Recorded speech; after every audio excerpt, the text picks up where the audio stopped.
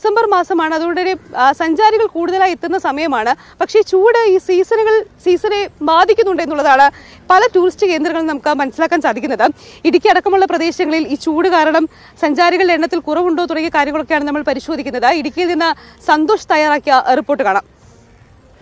Christmas പുതുവത്സര സമയത്ത് December ജനുവരി മാസത്തിലെ തണുപ്പ് അനുഭവിക്കാനായിട്ടാണ് സഞ്ചാരികൾ ഇടുക്കിയിലേക്ക് എത്തുന്നത്. ഏറ്റവും കൂടുതൽ സഞ്ചാരികൾ എത്തുന്നത് മൂന്നാറിലാണ്. മൂന്നാറിലെ തണുപ്പാണ് ഇവിടേക്ക് ആളുകളെ പ്രധാനമായും ആകർഷിക്കുന്നത്. കഴിഞ്ഞ വർഷം ഇതേ സമയത്ത് മൂന്നാറിൽ മൂന്ന് ഡിഗ്രി ആയിരുന്നു തണുപ്പ്. എന്നാൽ ഇപ്പോൾ അതായത് ഇന്നലെയും ഇന്നുമായിട്ട് തണുപ്പ് പതിനൊന്ന് ഡിഗ്രി മാത്രമാണുള്ളത്. അതായത് കഴിഞ്ഞ വർഷത്തെ അപേക്ഷിച്ച് വളരെ കുറവുന്നുണ്ട്. കഴിഞ്ഞ വർഷം ജനുവരി മാസത്തിൽ മൈനസ് മൂന്ന് വരെ മൂന്നാറിലും പരിസര പ്രദേശങ്ങളിലും ഒക്കെ താപനില താഴ്ന്നിരുന്നു. എന്നാൽ ഇത്തവണ പത്ത് ഡിഗ്രിക്ക് മുകളിൽ അത് പതിനൊന്ന് ഡിഗ്രിയാണ് ഇപ്പോൾ ഉള്ള തണുപ്പ്. അതായത് പ്രതീക്ഷിച്ച തണുപ്പ് ഇല്ല. സഞ്ചാരികൾക്ക് ഇവിടേക്ക് ഈ തണുപ്പ് ആസ്വദിക്കാൻ ആസ്വദിക്കാനെത്തുന്ന സഞ്ചാരികൾക്ക് അങ്ങനെ ഒരു സൗകര്യം ഇപ്പോൾ ലഭിക്കുന്നില്ല. അല്ലെങ്കിൽ ആ പഴയതുപോലെ തണുപ്പ് കിട്ടുന്നില്ല.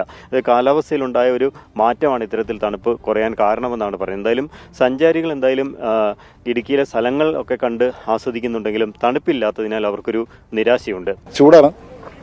ഇതൊക്കെ ഇട്ട് വരുമ്പോഴത്തേക്കും ഇരട്ടി ചൂടാണ്. പിന്നെ സാറിന് ഇവിടെ വരുമ്പം ഇങ്ങനെ കോടയൊക്കെ നല്ലോണം കയറുന്ന. ഉച്ചക്കൊക്കെ ഒന്ന് നല്ല കോടയാണ് പക്ഷെ ഒന്നുമില്ല. ഇപ്പൊ തണുപ്പ് ഉണ്ടാകേണ്ട സമയമാണല്ലോ. ഇപ്പൊ തണുപ്പില്ലല്ലോ അത് വലിയ തണുപ്പായിട്ട് തോന്നുന്നില്ല. പകൽ എന്നാലും ഒരു കാറ്റോട് കൂടിയ ചൂടാണ്. എപ്പോഴും അത് പൊതുവേ ഇവിടെ ഇങ്ങനെ ഒരു കാറ്റുണ്ട്. അത് ചൂടുള്ള പോലെ ഒരു കാറ്റും കൂടെ ഉണ്ട്.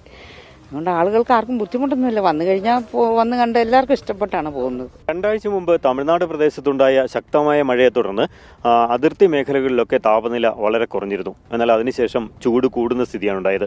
ഇപ്പോഴും പല സ്ഥലത്തും കാന്തല്ലൂരും അതുപോലെ ചില സ്ഥലങ്ങളിലൊക്കെ മൂടൽ മഞ്ഞ് ഉണ്ട്. എന്നാൽ തണുപ്പ് വളരെ കുറവാണ്. ജനുവരി മാസം പകുതിയോടുകൂടി ഇത്തവണ കൂടുതൽ തണുപ്പുണ്ടാകുമെന്നുള്ളതാണ് ഈ വിനോദസഞ്ചാര മേഖലയിലുള്ളവരെയും അതുപോലെ തന്നെ കാലാവസ്ഥ നിരീക്ഷകരുടെയും ഒക്കെ ഒരു കണക്കുകൂട്ടൽ.